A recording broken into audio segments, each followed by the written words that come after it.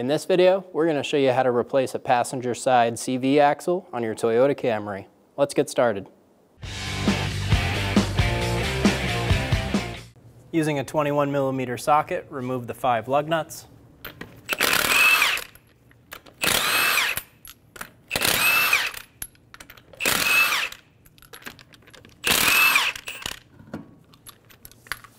Remove the wheel. Using a 30 millimeter socket, we're going to remove the axle nut. I'm going to thread one lug nut on just to hold the rotor in place. We're going to drop the knuckle forward so it'll want to wiggle. We'll just keep it in place with the lug nut. Using a 10 millimeter socket, remove the bolt out of the ABS wire bracket. Pull the bracket off. Using a 12 millimeter socket, remove the bolt out of the brake line and ABS wire bracket.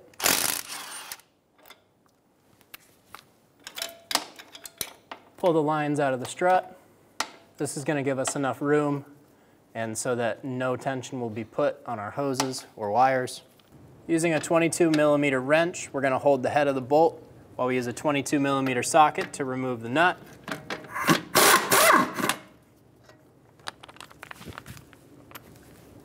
Do the same thing on the bottom one.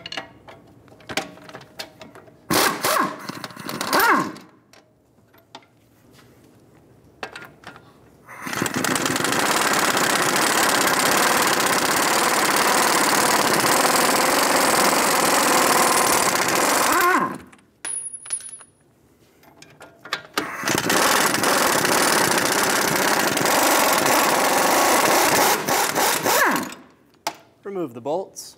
Pull the plastic clip off for the ABS wire. Pull the knuckle out of the strut.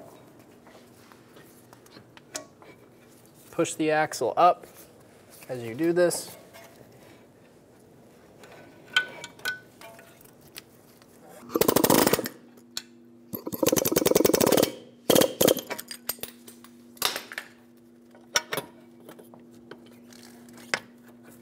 Pull the axle out of the knuckle.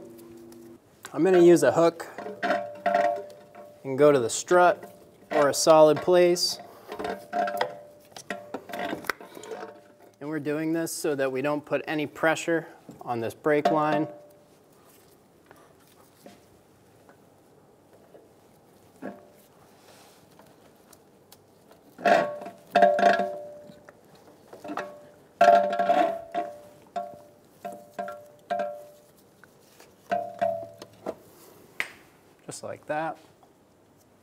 Using a pair of pliers, remove the snap ring for the intermediate bearing.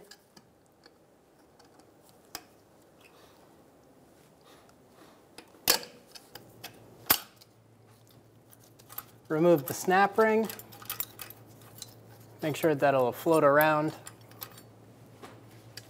We're going to remove the CV axle. Before you do this, be sure there's a drain bucket under this hole right here. It may leak fluid. We're to use a big pry bar and get under the cup of the CV axle right here. And we're going to give it a few shocks with a hammer.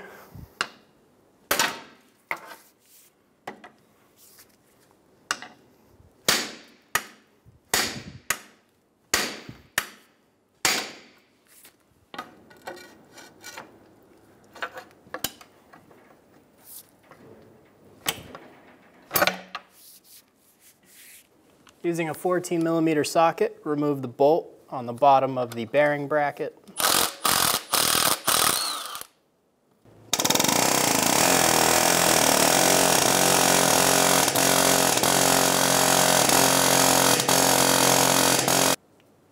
The passenger side axle gets stuck in this bracket pretty often. We've tried pretty hard to get it out and we're not able to. So we're going to be removing this whole bracket that it's sitting in and removing it once it's off the car. To remove this bracket, use a 14 millimeter socket and remove the three bolts.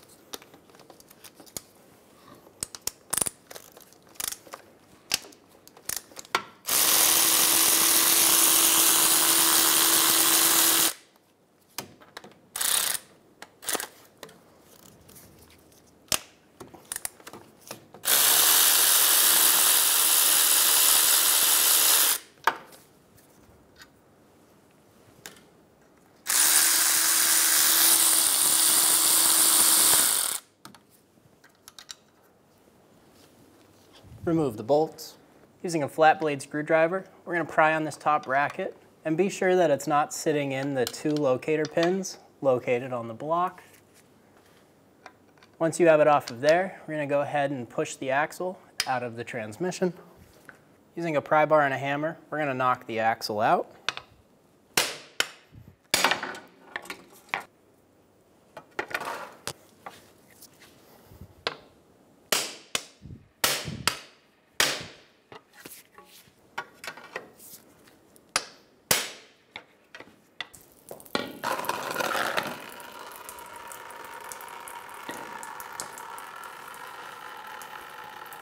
Be ready for fluid to drip out.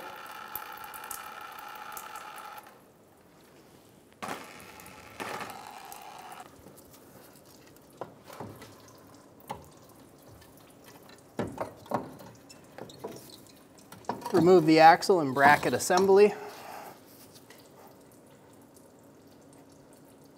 After a few hours of trying, we were unable to remove this bracket from the bearing or the bearing from the bracket. This is a very common issue.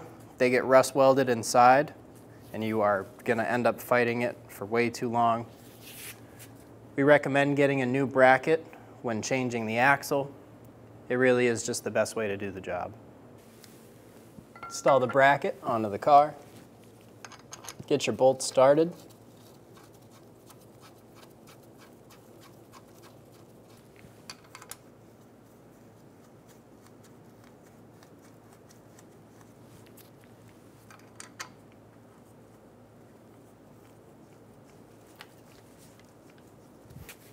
Snug the bolts down.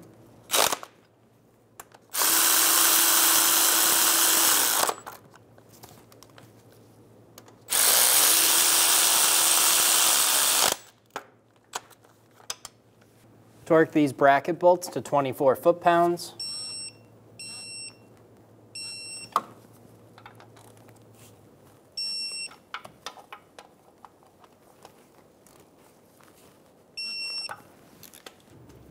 Using a bit of grease, we're going to go around the inside of this bracket and totally cover it. We're going to try to avoid having this new one rust weld in, and hopefully it'll come out easier next time.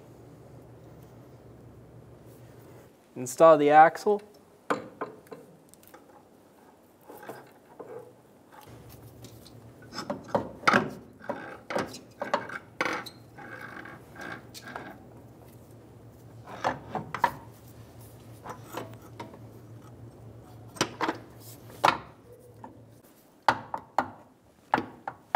Line the splines up and install it into the transaxle. We're going to install the snap ring. You have to push this over the axle.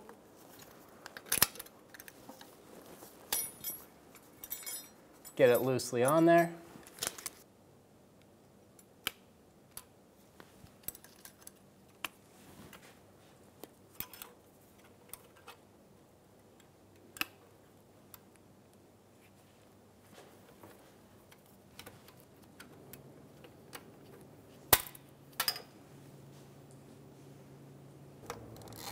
We're to snug down this set screw and then torque it to 24 foot-pounds. Remove the axle nut off of the new axle.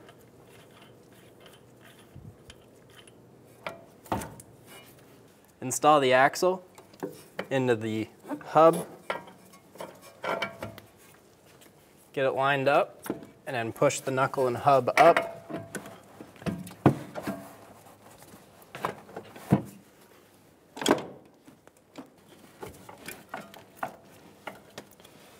Remove your hook or hanging device that you're using to hold the knuckle.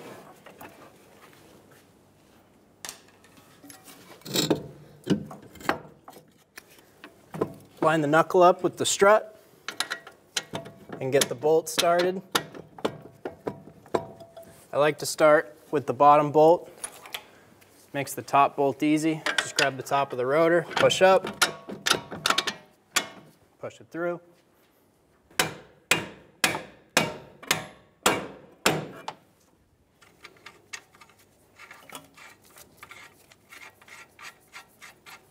Get the nuts started.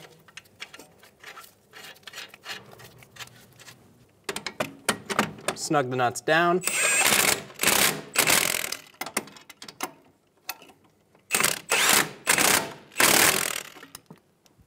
Holding the head of the bolt, we're going to torque these down to 155 foot-pounds.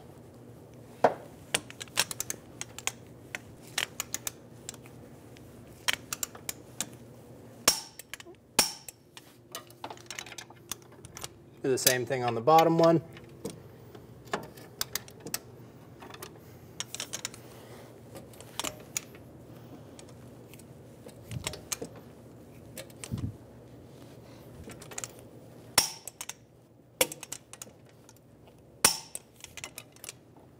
Install the ABS wire clip onto the strut.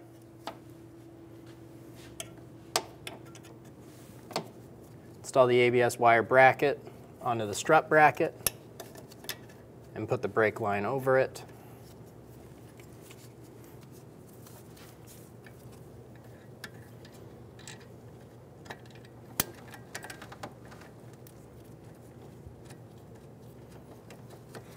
Get the bolt started. Snug the bolt down.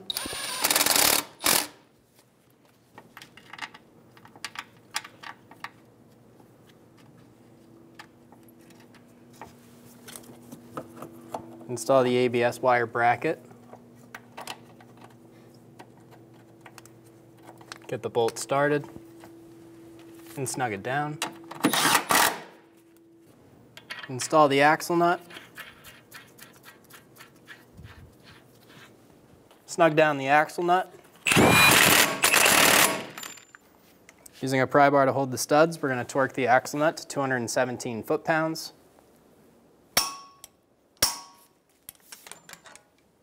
Using a punch and a hammer, we're going to stake the axle nut.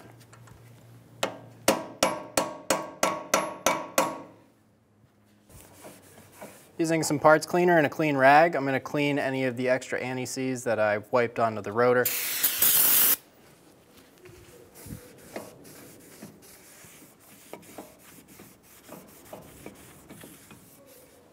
Remove the lug nut. Install the wheel onto the vehicle.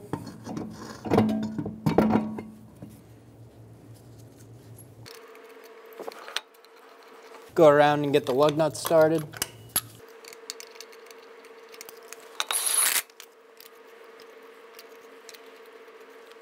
Go around and snug them all down in a cross pattern.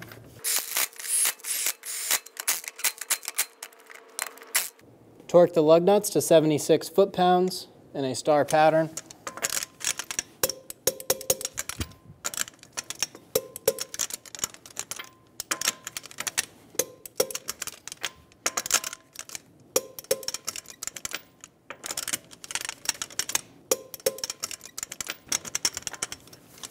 Once you're done with this job, take your car to a local shop and have them do an alignment. When only the best will do, demand TRQ. The only company that lets you view before you do.